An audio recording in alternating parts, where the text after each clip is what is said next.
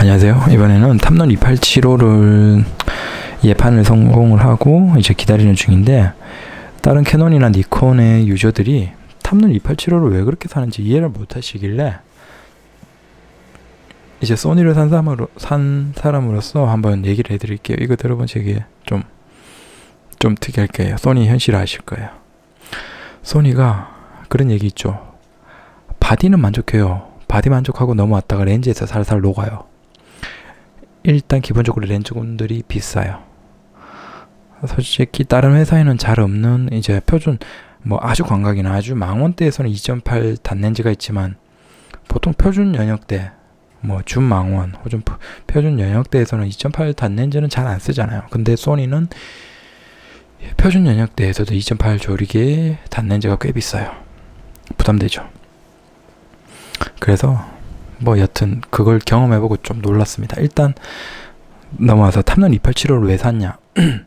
왜 소니 A7 뭐 소니 미러리스를 사용하는 유저들이 탐론 2875에 열광하냐? 그거에 대해서 한번 풀어드릴게요.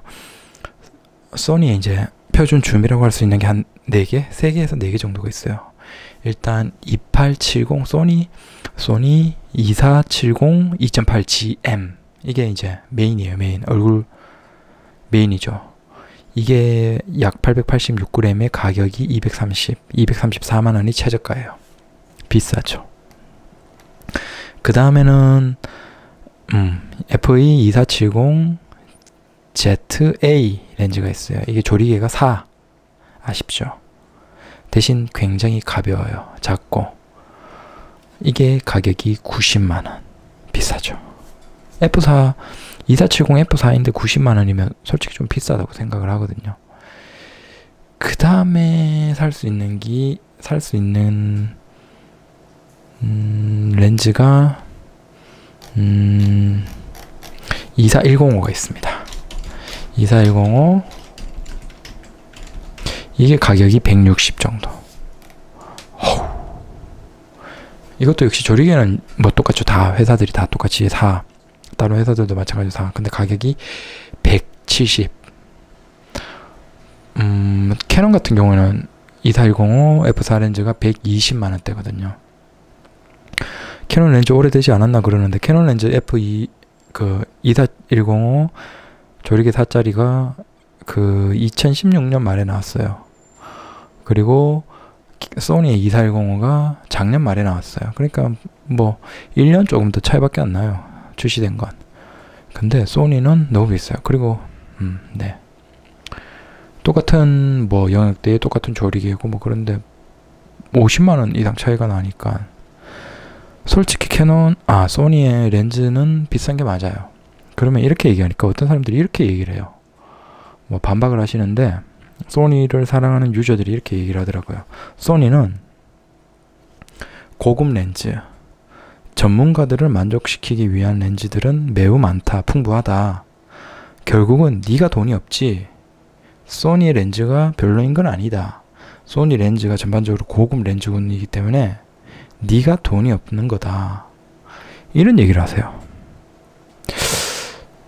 그러면 뭐 그런 얘기를 하니까 닦아놓고 한번 얘기해 볼까요?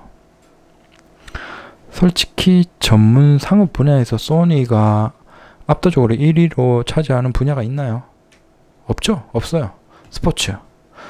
스포츠에는 뭐 캐논, 니콘 두고 소니, 소니 뭐 테스트로 뭐 가끔씩 보이긴 하는데 거의 없어요. 소니 소니 바디로 캐 스포츠 사진 찍는 전문 뭐 기자나 혹은 뭐 잡지에 뭐 그런 거 보셨나요? 거의 못 보셨을 걸요.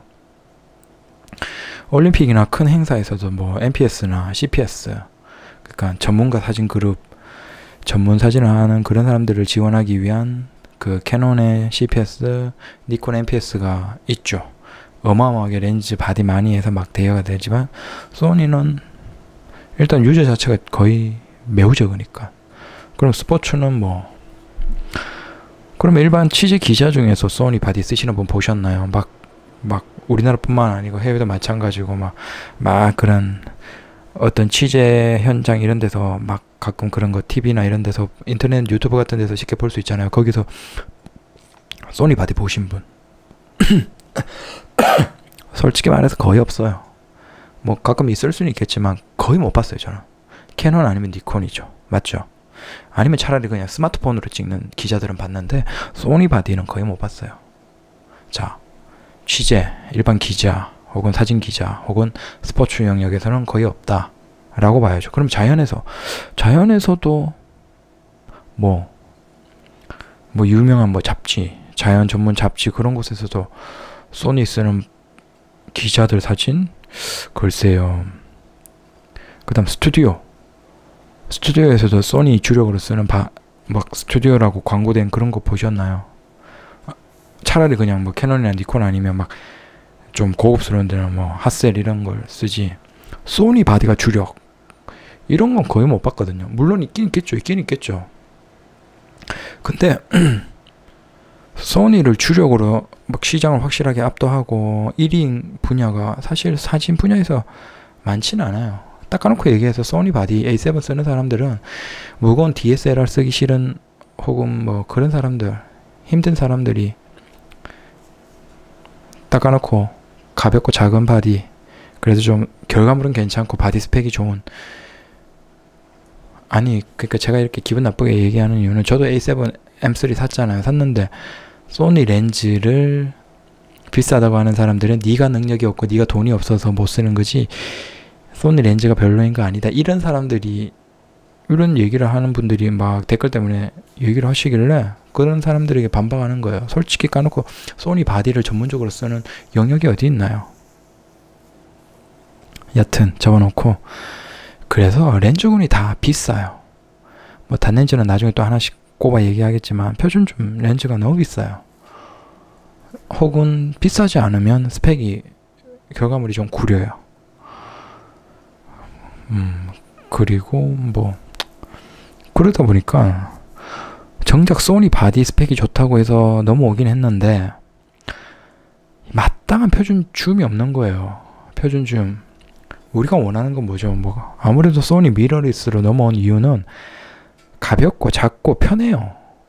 그게 이유인데 아까 2470 GM 렌즈처럼 무거운 걸 달면 미러리스 그러니까 DSLR에서 미러리스로 넘어온 가장 큰 이유가 그건데 그걸 의미가 없어지는 거예요. 그게 너무 아쉬운 거죠. 그래서 음 그래서 가볍고 작은 렌즈 일단 표준 줌이면서 좀 가볍고 작으면 좋고 그 다음에 조리개는 2.8은 되어야지 실내에서 쓸만합니다. 그러니까 F4 렌즈가 있긴 하지만 솔직히 아쉬운 건 사실이잖아요. 이게 조리개가 좀 빠른 걸 필요로 하는 상황도 있고 아무래도 조리가 좀 빠르면 실내에서 좀뭐 그래도 뭐 좀 아쉬울 수는 있지만 스트로 뭐 플래시 없이 스트로브 없이 뭐 촬영할 수 있으니까 그래도 2.8은 되어야 될 거고 그리고 좀 빨라야 될 거고 가장 중요한 건 가격이 적절해야죠. 아니 바디마 바디 가격만큼 비싼 표준 줌 렌즈 가격인 건 아니잖아요. 제가 이거 바디 A7M3 이거 바디가 한 240 정도에서 한 건데 렌즈가 230이면 솔직히 아니잖아요. 오바잖아요. 네. 그래서 사람들이 탐론에 열광을 한 거예요.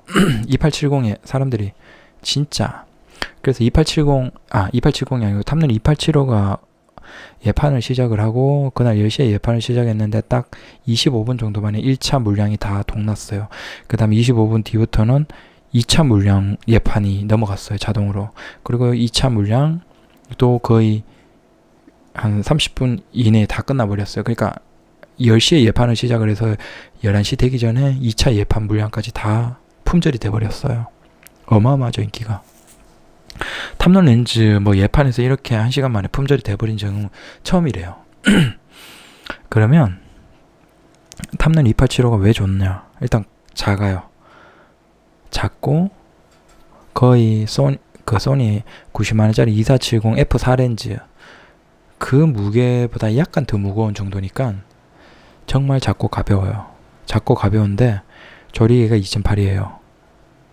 아, 그 다음 사이즈 아까 작고 가볍다고 했지만 작아요. 사이즈가 실제 작아요. 미러리스에 딱 적절한 표준 줌이라고 생각을 하면 될 것 같아요. 그 다음 가격이죠. 가격이 한국에서 예판 가격이 91만원. 렌즈만 하면 91만원. 렌즈 하나 추가하면 95, 그 다음 두 개 뭐 이런 기능 있는 두 개 추가하면 99만 원에 그러니까 제가 99만 원에 예판을 했거든요. 그러니까 99 91만 원 이 예판 가격인데 가격이 너무 좋아요. 간혹 뭐 탑런 렌즈들이 막 가격 폭풍 하락한다 그런 분들 계신데 어 제가 생각하기에 탐론 2875는 그렇게 가격이 하락하진 않을 것 같아요. 왜냐면 국내 예판 가격이 91만 원이잖아요. 그러면 일본 예판 가격이 얼마냐면 약 80만 원 초반이에요. 그러니까 환율 지금 환율로 계산하는 거죠. 일본 예판 가격이 80만 원 초반. 북미에서 예판 가격도 80만 원대예요. 80만 원 초중반, 초반인가? 초중반이었던 것 같아요. 그 다음에 유럽으로 넘어가면 아무래도 그쪽은 환율이 세니까 영국 이런 데서는 100만 원이 넘어요.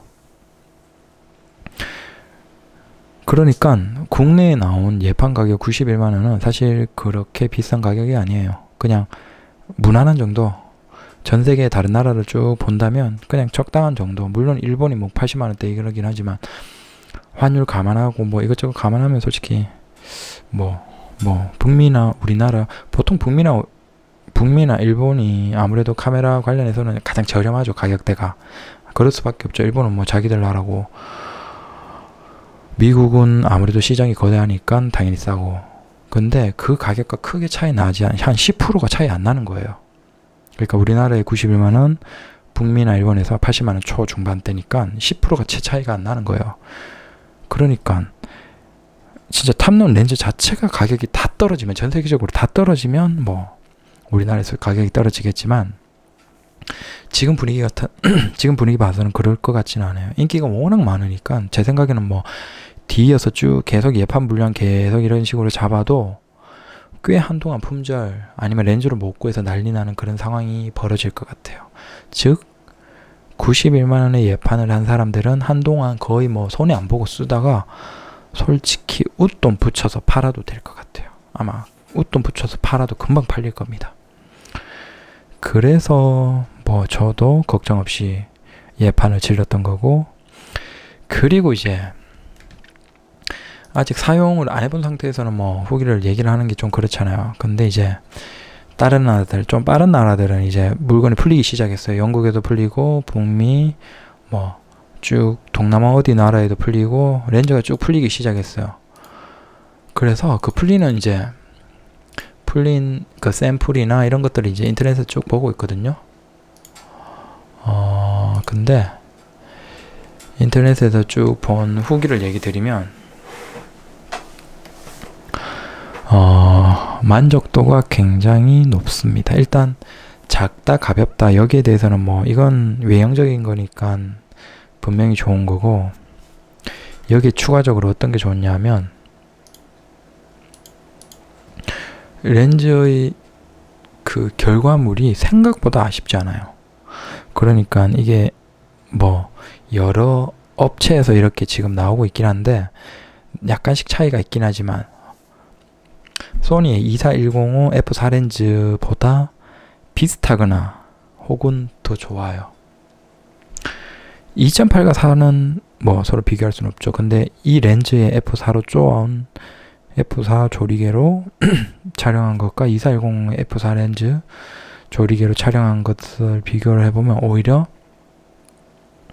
탐론 2875가 결과물이 더 좋아요. 물론 그런 얘기 아직죠. 2410의 목적은 좀 더 망원이 되면서 여행용이다. 올라운드 렌즈다. 뭐 이렇게 얘기를 하겠지만 그런 식으로 얘기를 한다면 탐론도 2875 2.8 빠른 빠른 조리기가 가능한 렌즈잖아요. 서로 장단점이 있는 거고. 그래서 똑같은 상태에서 비교를 하면 오히려 2875가 결과물이 더 좋아요. 그러니까 2410호가 160인데 24, 2875 91만 원짜리 렌즈가 결과물 그러니까 퀄리티 자체만 본다면 더 좋아요. 그 다음에 AF도 뭐 전체적으로 다 빠르고 뭐 만족스럽대요. 뭐 물론 이걸 실제 써봐야 가장 좋겠지만 뭐 후기 올린 거 영상들 쭉 보면 AF 렌즈도 만족스럽고 다만 이제 얘기를 언급하는 거 보면 그 그 28mm 영역대에서 그러니까 2875니까 28mm가 최대 광각이죠. 최대 광각에서 좀 왜곡이 있다. 근데 이건 뭐 어쩔 수 없겠죠. 아무래도 망원이 좀 75, 70mm가 아니고 75mm 렌즈 되는 거니까 28mm에서 왜곡이 좀 아쉽다고 하지만 그래도 괜찮대요. 뭐 어차피 2875를 쓰는 건 뭐 네, 이건 뭐 사람마다 다르니까. 여튼 28mm 왜곡이 조금 아쉽고 그 다음 망원대에서 한 30mm 좀 넘어가면 그러니까 40mm 아마 전후가 보통 2470 렌즈들 보면 한 35mm 전후로 해서 가장 왜곡이 적어지는 플랫한 형태거든요. 그러면 2875면 아마 한 40mm에서 40, 45mm 전후가 가장 플랫한 형태가 되지 않을까 생각이 됩니다. 그래서 사실 소니는 50mm 2. 50mm 음, 2.8 그래서 후기들 쭉 올라오는 거 보고 보면 저는 현재 2870 표준 번들 중 하나 있거든요. 여기에서 이제 50mm, 55mm 1.8 렌즈 그게 좀 사람들 좀 반응이 좋더라고요. 그래서 그거 하나 살까 말까 고민 중인데 일단은 이제 다음 주, 다다음 주, 다음 주 말쯤에 오겠죠?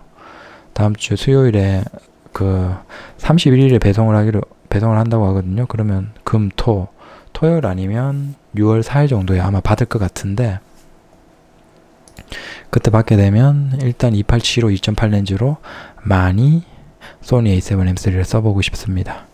이걸로 쭉 쓰다가 이제 또 다른 걸로 뭐 넘어가든지 아니면 렌즈를 추가하든지 해야겠죠. 그래서 탐론 2875 렌즈는 만약에 예판하신 분들은 마음 놓고 꽤 즐기시면 될 것 같고 혹시라도 생각이 나시는 분들은 뭐 혹시 뭐 카페 이런 곳에서 취소하실 분 있나 해서 양도를 좀 기다려 보셔도 될 것 같고 아니면 나오는 거 뭐 약간이라도 웃돈 줘서 사도 될 것 같고 지금 후기 올라가 나오는 후기 올라오는 것들을 보면 아마 꽤 반응이 좋을 것 같습니다. 그래서 탐론 2875 2.8 렌즈에 대해서 한번 쭉 이야기해 봤습니다. 감사합니다.